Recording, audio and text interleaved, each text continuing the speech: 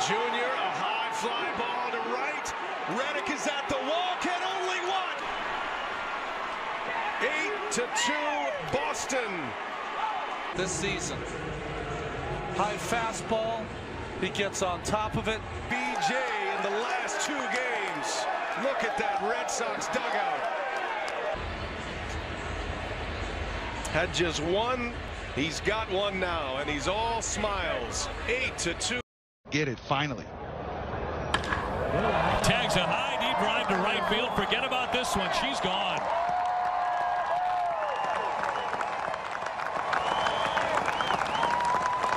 Well, that's the Jackie Bradley we saw over and over in the postseason. One big hit after another.